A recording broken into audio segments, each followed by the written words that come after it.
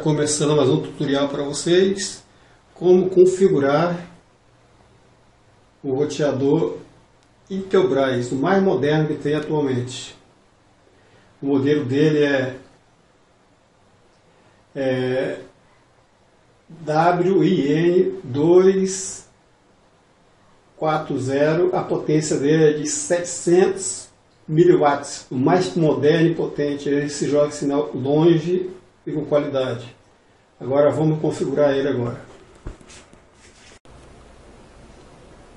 Mas antes de configurar ele, eu vou demonstrar como que ele é, tá? Vou repetir. É velocidade N de 150 megabits, tá? Megabytes. Ele tem uma, uh, a potência de transmissão dele de 700 miliwatts via rádio o rádio aéreo é, ele tem modo repetidor, amplia sua rede sem fio, tá? Como eu falei, ele é o mais moderno é, da atualidade. Ele tem, ele vem com antena de 5 dBi, tá? Ele tem quatro, quatro portas lá atrás. Eu vou usar uma dessas amarelas aí para configurar ele. Eu não vou usar mais nada de para configurar ele, não vou conectar na internet. Antes de mais nada, se a sua internet aí é internet via rádio, não tente, porque via rádio não vai dar. via rádio, o seu provedor aí, ele configura somente para o seu computador entrar. Então não adianta querer configurar ele para várias, é, vários computadores entrar que não vai dar, tá?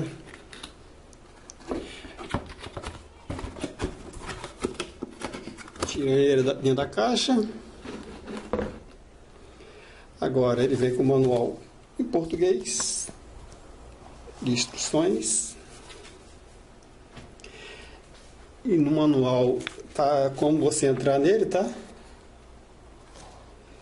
Você, você digita nele para entrar 10.0.0.1, tá? Usuário e senha, como vocês podem ver aí, é de mim. Tá legal? Letra minúscula. Pronto. Agora vamos lá, vem com o CD. Você não vai usar mesmo, né? Antena.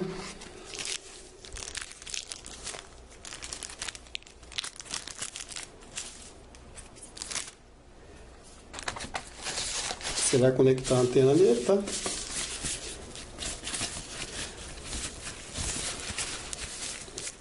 Um roteador, antes que alguém pergunte, quanto é o preço de um roteador desse? Por volta de 130, 140.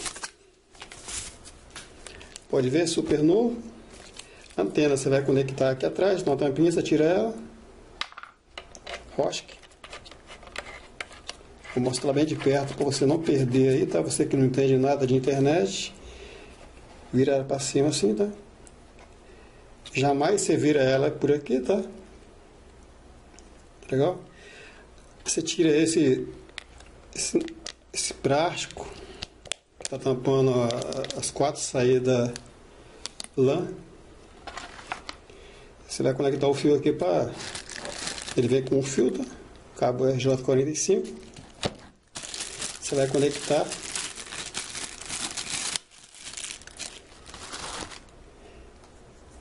atrás para configurar ele. Não estou fazendo corte nesse vídeo, né? Você vai, pega, conecta desse jeito aqui, ó. Você empurra, vai dar um estalo. Esse outro lado aqui, esse conecta atrás do seu computador, tá? Ou notebook, tá? Tem a fonte por enquanto você não, não precisa conectar a, o, o, cabo que vem de som molho, tá? E depois você configurar ele, você conecta aqui o cabo som molho na WLAN azul. Agora você pega a fonte, você, é, ligue seu computador aí, tá? Você vai conectar a fonte aqui, ó.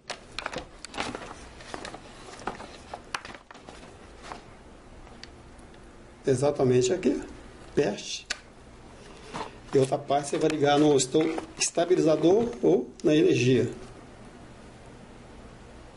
Aí ele vai acender. Eu vou fazer agora.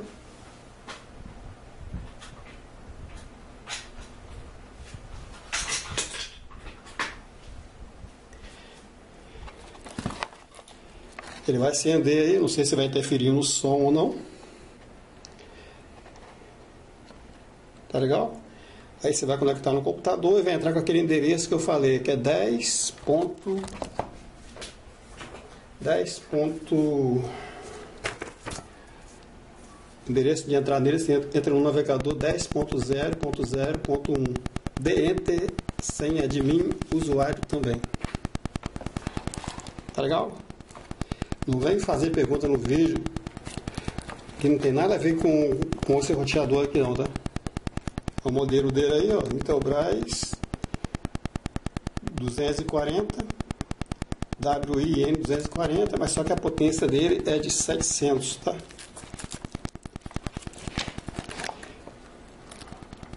No fundo dele, muito pequenininho, dá para você ver o endereço de entrar nele também que é 10.0.0.1. Usuário admin, senha admin. Ok? Vou repetir, a potência dele é de 700 mW. Se você colocar uma outra antena de, por exemplo, 10 dBi, vai pegar muito longe, tá? Agora eu vou entrar no computador para gravar a tela. Você vê eu configurando ele no modo roteador, tá? Legal? Então vai servir para várias operadoras, Oi, Veracruz, GVT, entre outros aí. Agora, você tem internet via rádio, não vai dar. Por quê? Seu provedor, ele pega e ele, ele marca o seu MAC na central dele lá. E marcando lá, só o seu computador vai entrar. Na pior das hipóteses, o que você pode fazer é, se você usa o notebook, você crona o Mac, seu notebook, você usar o notebook sem fio com ele. Mas não vai dar para usar é, tablet, smartphone não, que seu provedor não vai deixar. Já acendeu as luzes assim, ó, pode começar a configurar ele. Vou entrar na minha tela do computador agora, tá legal? Agora eu estou gravando a tela do meu computador. É, você abre aí o seu navegador aí, tá? Eu não vou usar CD, não é possível se uma pessoa vai me perguntar aí, como é que usa CD? Eu não vou usar CD. Abre o navegador aí, estou abrindo o Google Chrome. Você pode reparar no fundo do roteador ou é, no manual de instruções, está lá para você entrar lá. 10.0.0.1 igual eu vou fazer agora, ó. Botei azul lá e vou, hum, pagou tudo, né? Agora 10.0.0 ponto zero, tem três, são três zeros, três zeros, ponto um. Aí você vai dar um Enter, veja lá. Entrou a janelinha, é minúscula, veja no seu teclado aí, minúscula, tá? Admin. Admin. Aí, Enter, entrou na tela principal dele. Vou repetir, você que tem internet via rádio aí não vai dar, tá? Agora você vai lá em assistente de configuração. Eu vou é, na parte para ser configurado como roteador, tá legal? Vai clicar agora em próximo, após clicar em assistente de configuração. Você deixa lá em cima marcado roteador, ele que vai mandar na sua internet, tá? Ou seja, depois você vai ligar o cabo do seu modem naquela azul dele, da WLAN, tá? Na azulzinha, tá? Você vai clicar em próximo.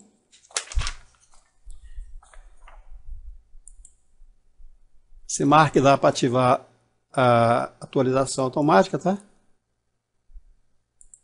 Na hora. Se você é de outro país aí, que eu sei que vê meu vídeo aí, vários países aí, você escolhe seu país aí, tá? Legal? No caso aqui é Brasília, menos 3. Eu não entendo para que serve aqui, deixa marcado ali mesmo. Você vai em próximo. É, no caso aí, você pode deixar esse P aí, tá? Ele vai servir como roteador mesmo. Agora, se o seu modem tem o mesmo IP, você tem que mudar, tá? Pelo mesmo, se tiver o modem tiver esse mesmo endereço aqui, você muda o, o final aqui para 2, tá? Só clicar ali, apagar e botar o 2. E clicar em próximo. Agora vou aqui em próximo. Você deixa marcado o DHCP, tá? Legal?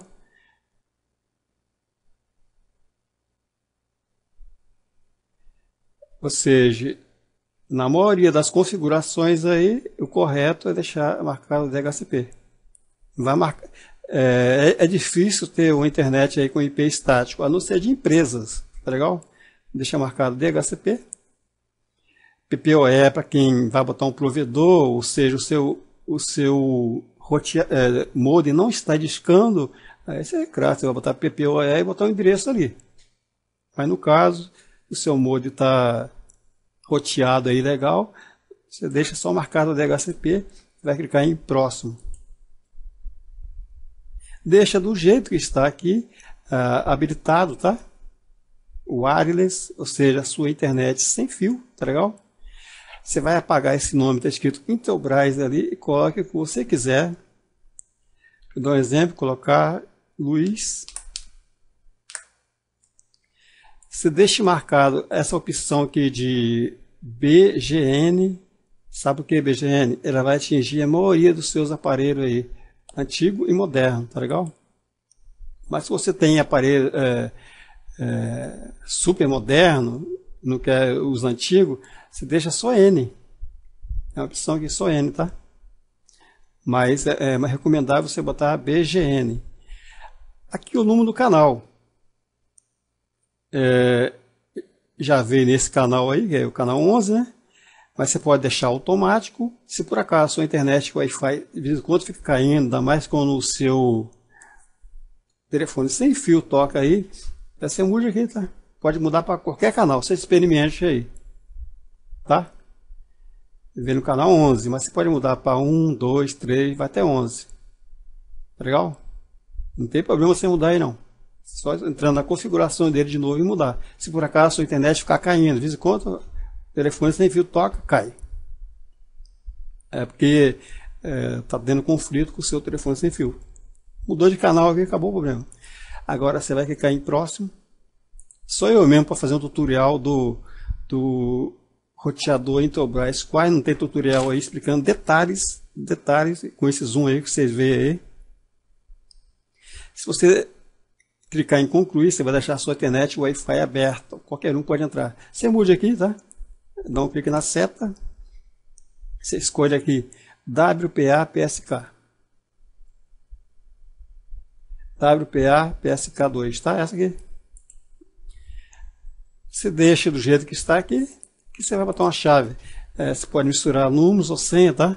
Você pode botar aí de no mínimo 8, tá? Você pode misturar letra ou número. Abaixo de 8 não dá, tá? Você não vai botar uma senha dessa aí ou o número do seu celular. Vai, outras pessoas vão entrar. Tá legal? Então, no mínimo 8, tá? Você vai clicar em concluir. Ele está reiniciando salvando as configurações. Depois que ele voltar aí, você pode conectar o, aquele cabo que, do seu modem que você ligava no seu computador. Você vai ligar agora naquela azulzinha. Tá legal? É W, é, WLAN. WLAN, tá? Pode ligar nela na azulzinha. Sua internet vai estar pegando tranquilo aí. Agora, se a sua internet é, via rádio, não vai pegar. Não vai pegar só um computador. Mesmo assim, você vai ter que cronar o Mac. Tem a opção aqui no roteador, não vou escolher ainda, mas tem a opção de você cronar o seu Mac. Todo roteador tem. Então, a partir que da em 100 ali, contagem da em 100, você pode conectar ali que a sua internet vai estar pegando. Tá legal? Sua Wi-Fi vai estar pegando também. Você pode ver aqui, ó, o AP habilitado, tá? Então a sua internet Wi-Fi vai estar pegando, wireless, tá? Ó. Se eu caçar meu, meu smartphone aqui já vai pegar, vai estar tá pegando essa internet. Está escrito o nome Luiz. Tá legal? Você gostou da dica aí? Te ajudou? Compartilhe esse vídeo aí no, no, no Face, no Google+, ou em outro lugar. Tá legal? Eu recomendo você mudar a sua senha do roteador, tá? Senão, se você compartilha a sua internet com outras pessoas, ela pode entrar na configuração do seu roteador aí. É, basta, é, mesmo que você é, sem fio, ela vai poder mudar. Basta ela digitar 10.0.0.1, senha e usuário admin. Então vai aqui em gerenciamento, é, senha, tá? Você pega e escreva aqui o usuário que você queira, tá? E aqui também nova senha, repita nova senha, clica aplicar. Legal? Fácil, né?